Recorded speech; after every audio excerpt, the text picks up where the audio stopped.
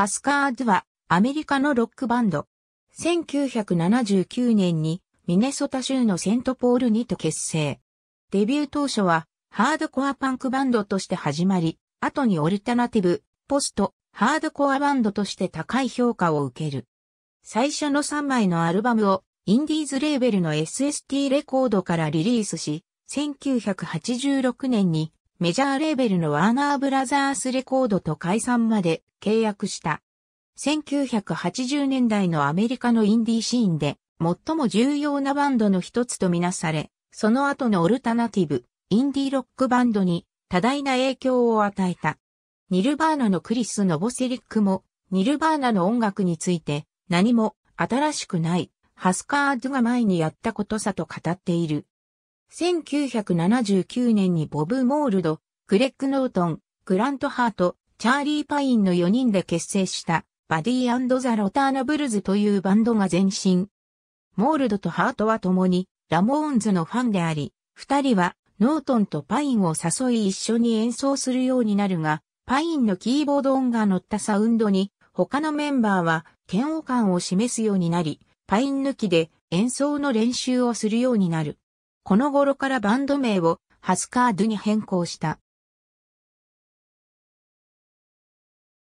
バンド名のハスカードとは1970年代に発売されたボードゲームの名称であり、デンマーク語、ノルウェー語で覚えてる？という意味である。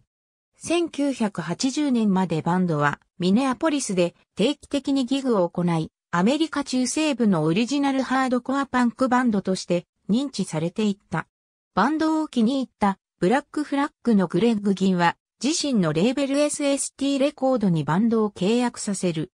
1982年にライブアルバムランドスピードレコード、1983年にファーストアルバムエブリシング・フォールズ・アパート EP メタルサーカスをリリース。この頃までバンドはパンキッシュなサウンドを展開していたが、メンバーはハードコアパンクの制約的な音楽性からより飛躍しようと画策する。1984年にセカンドアルバム、全アーケードを発表。コンセプトアルバムであり、LP2 枚組で70分の対策だったが、レコーディングにかけた時間はわずか45時間であり、制作費用もたった3200ドルだった。アルバムは発売当初から称賛され、パンクファン以外からも注目を浴びる結果となった。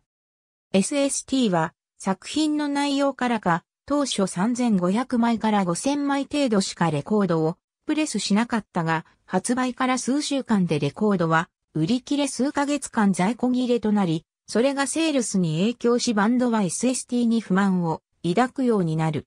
1985年1月にサードアルバム、ニューデイライジング、8ヶ月後の9月に4枚目のアルバム、フリップ・ユア・ウィックをリリース。バンドは、フリップ・ユア・ウィックレコーディング中からメジャーレーベルである、ワーナーブラザースレコードから契約のオファーを受け、契約を結んだ。1986年3月に5枚目にして、メジャーデビューアルバム、キャンディーアップルグレーをリリース。バンドにとって初となるビルボードにチャートインを果たし、MTV やラジオでも取り上げられるが、最終的に最高140位にとどまった。1987年1月に6枚目のアルバム、ウェアハウス、ソングズストーリーズをリリース。全、アーケードに続く2枚組の大作だったが、ツアー直前にバンドマネージャーのデビッド・サボイが自殺。モールドがマネジメントを管理するようになると、この頃からモールドとハートの間の確執が表面化する。ハートはメソドン服用によるヘロイン中毒に悩まされており、解散前のツアーにも参加しまだ演奏できると主張していたが、モールドはその後のツアーをすべてキャンセルし、その4日後にハートはバンドを脱退し、バンドも解散した。モールドはバンド解散後にシュガーを結成、ソロのシンガーソングライターとしても活動している。ハートモノバモブというバンドで活動した後、ソロで活動した。ノートンはグレーエリアというバンドに参加した後、音楽活動から身を引き調理師に転身、ミネソタでザ・ノートンというレストランを開いた。2004年、癌の治療を受けていたソウルアサイラムのベーシスト、カール・ミュラーを支援するための事前コンサートで、モールドとハートはステージ上で共演し、ハスカード時代の楽曲を演奏した。バンドロゴ、ありがとうございます。